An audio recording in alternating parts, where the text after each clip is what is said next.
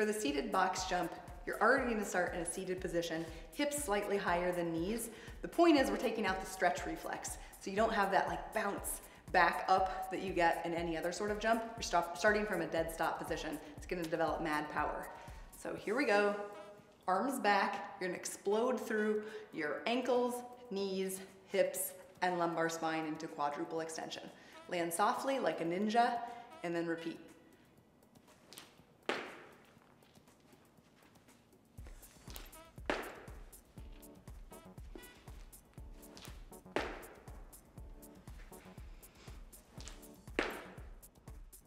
For a more advanced version, you can also jump onto a box in front of you, landing again like a ninja, nice and softly, knees tracking in the same direction as your toes.